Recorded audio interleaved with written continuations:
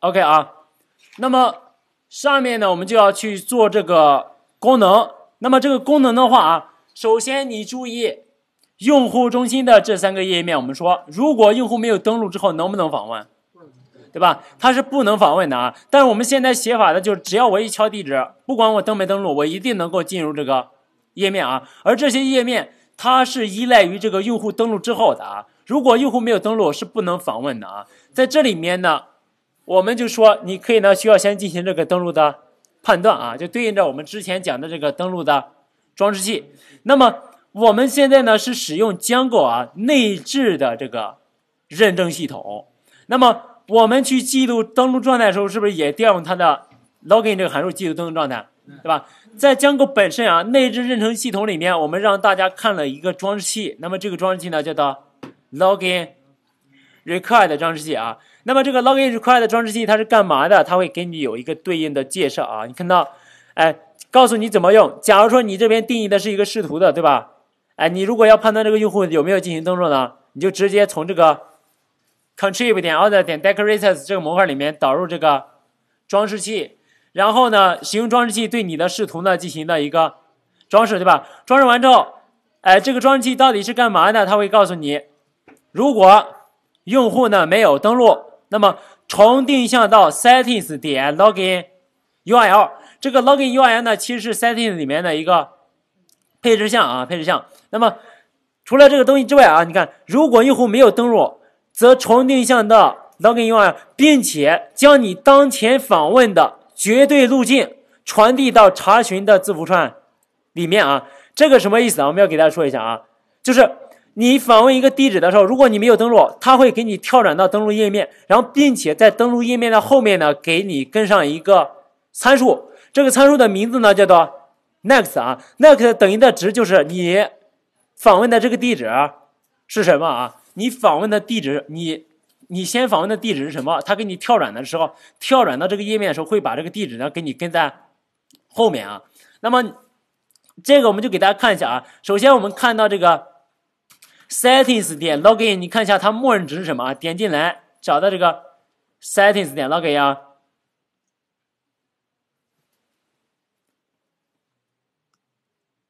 OK，来回车啊。好，找到这个页面，看一下 login URL 对应的这个东西呢，它是默认哎是这个 account login 对吧？哎，account login 啊，所以你知道这个值啊，它默认呢就是你用户呢你没有登录之后，它是应该跳转到这个 Xcast login 啊，跳转完之后，我们说呢，它呢就会把你之前跳转之前访问那个地址呢跟在这个 next 参数的后面啊。如果呢用户呢他呢已经登录的话，他会执行后面对应的视图，哎，对应的视图啊，这就是 login required 它的一个作用啊，它的一个作用。OK，那么这是它的一个作用啊。你知道它之后，对吧？我们现在就看一下啊，我们这里面的这几个页面呢，它是需要用户登录之后才能访问的，对吧？它登录之后才能访问的啊。用户中心、信息页、订单页、地址页这几个呢，都是必须用户登录之后才能访问啊。但是访问，我们现在写的是视图函数吗？不是啊，我们写的不是视图函数，所以这个 login required 这个装饰器呢，我们不能直接去用它啊，不能直接用它。那么不能直接去用它，哎，我们就要想个办法，一定让它在执行之前呢，要先判断这个用户呢有没有登录啊。那么这一部分怎么做啊？看到我们这边找到我们的这个 URLs，那么你一个地址过来之后，对应的是不是调它？对应的是不是调它？你调的时候，那我我可不可以啊，在这里面，在这个模块里面，把我们的 Django 点 contribute 点 other 点 decorators 导入这个装饰器函数，然后我在进 URL 地址配置的时候，对吧？你本身你应该调它，对吧？你只要一调它，就会显示这个注册页面。那我直接用我的 login required 装饰器呢，把它报一下，对吧？你首先，我们在这里面呢，直接把这个东西呢，把它。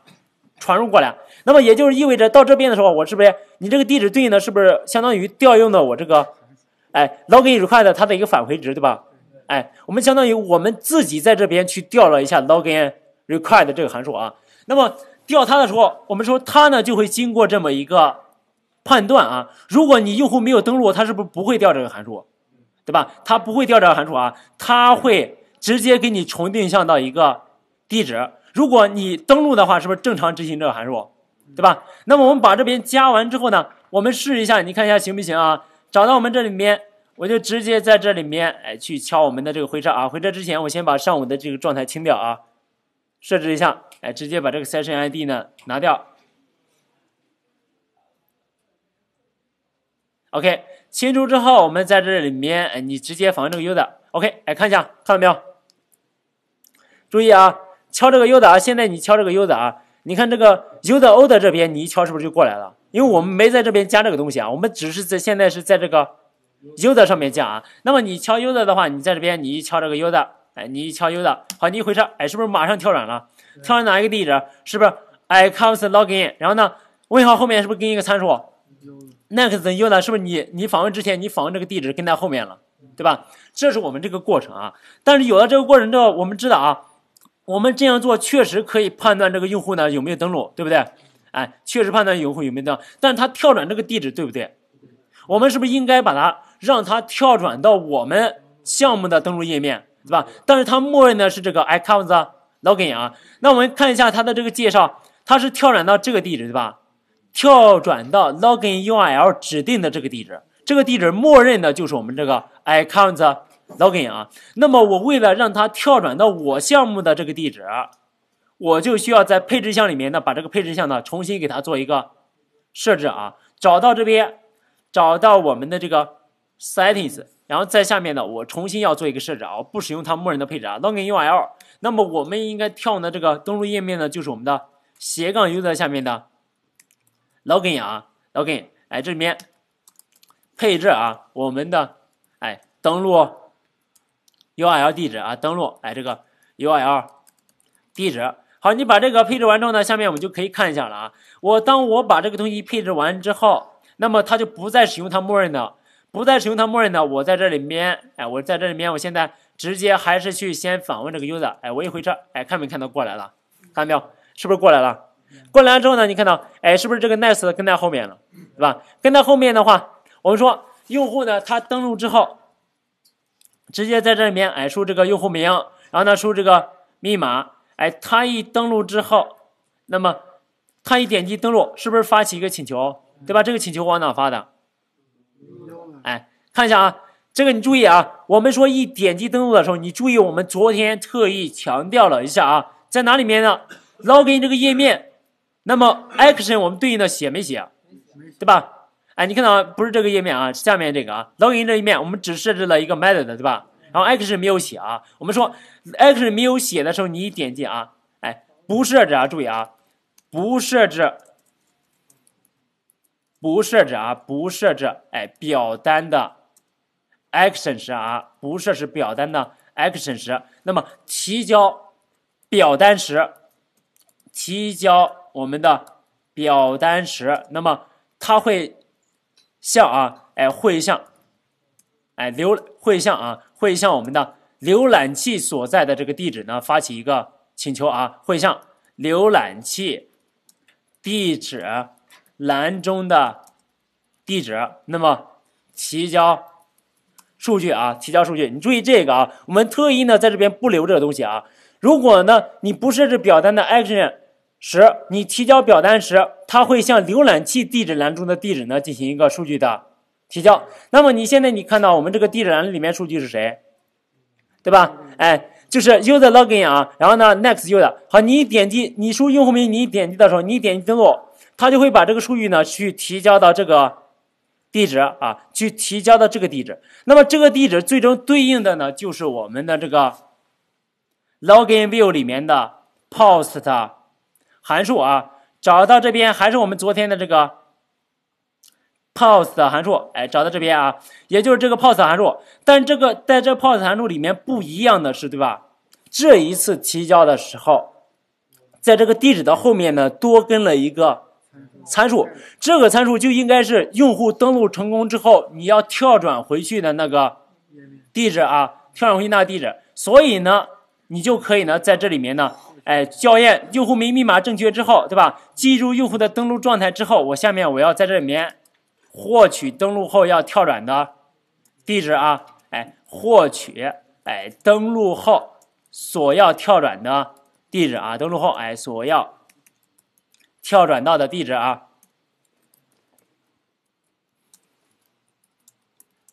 所跳转到的哎地址。好，那么在这里面呢，你看一下我们怎么去获取这个地址？哎，看一下啊，你注意啊，这里面不是 post 啊，为何后面参数通通都是在这个 get 里面啊？你只有表单 post 提交过来数据是不是才在 post 里面，对吧？所以呢，我们在这边啊，直接呢就是 request 点 get 啊，点 get，哎，把这个东西拿起来啊，直接呢就在我们这边 re。Quest 点 get 啊，点 get get 谁呢？get 这个 next 啊，get next，然后获取到这个值呢，就应该是我们登录之后要跳转到这个地址。但是你要注意啊，我们给大家说，假如说用户呢，他直接访问你这个页面的时候，对吧？我不是通过某一个页面跳转过来，我直接访问这个东西的时候，你拿不拿得到这个？哎，你点击提交的时候，你拿不拿到这个 next 的？对吧？你拿不到啊，拿不到，拿不到是我们说这个 get 函数返回的是谁？返回的是不是 now？对吧？哎，返回的是 now 啊。但是呢，哎，如果是这样的话，我返回 now，我在下面我直接写这个东西，我直接写这个 next URL，它是不是会报错？对吧？我们如果你拿不到这个地址的时候呢，它应该有一个默认的值，比如说没有这个 next 的，那用户呢就需要默认去跳转到这个首页。所以呢。我们 get 后面是不是可以设置一个默认值，对吧？哎，写上一个 reverse，然后呢，写上我们的 goose maha index 啊，反向解析帮我生成这样一个地址啊。我在这边呢去做一个设置啊。那么这个东西的目的呢，我们的 get 函数，我们说，当你使用这个 get 呢，你获取到这个 next 的时候，对吧？如果有这个 next 的值，那么 get 函数的返回值呢，就会把 next 对应的值给你返回，对吧？如果呢获取不到 next 值，这个 get 函数最终的返回值呢，是返回后面的这个默认的值啊，所以在这里面我们设置啊，获取登录后所要跳转到的地址。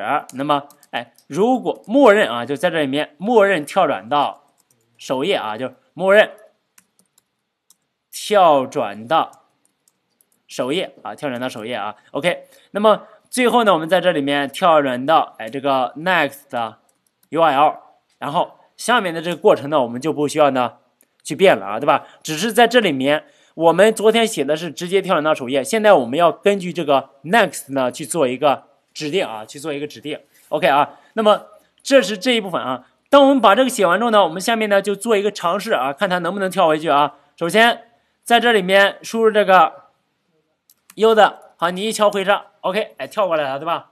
跳过来之后输这个用户名，下面呢再输这个。密码啊，输入这个密码啊，输这个用户名，输入这个密码之后呢，我一点击登录，这个数据呢，是不是就往这个地址进行提交，对吧？往这个地址进行提交里面呢，我们最终拿到这个 next 之后，哎，它呢，你看拿过来，哎，回来没有，对吧？看到没有？已经啊，回到这个 user 啊，回到这个 user 了。OK，那么这一步呢，其实呢，就是登录之后页面的一个跳转啊，就是配合我们的这个江狗本身的这个登录。装饰器啊，登录装饰器，OK。那么你像下面的这些东西呢，比如说这个订单页、地址页，它也需要用户进行登录，对吧？我就可以呢在这边写上 login required，然后在这里面把它一包，然后 login required，哎，在这里面呢再一包，对吧？哎，再一包啊。那么有了这个东西之外呢，你下面你注意啊，我们刚刚呢是已经登录了啊，这个登录状态已经已经记录了，所以呢，你在这边你敲这个 address 的时候，它应该一下就过来啊，好回车，哎，是不是一下就过来了，对吧？比如说我在这边，我们把它清空啊，把他们的这个哎 session 依赖的 session ID 给它清掉，找到这边把这个清除，好，清除之后呢，我再去访问这个 user address 啊，我一敲回车，好回车，哎，这边是看到没有？对吧？过来了啊，next 的地址就是它。那你在这里里面，你输这个用户名，然后呢，你再输这个密码。哎，你点击登录，登录成功之后，看到没有？又回来了啊，又回来了啊。这里面是我们的登录装饰器的配合，以及登录之后实现的一个跳转，还跳转回原来的那个页面啊，原来那个页面。OK。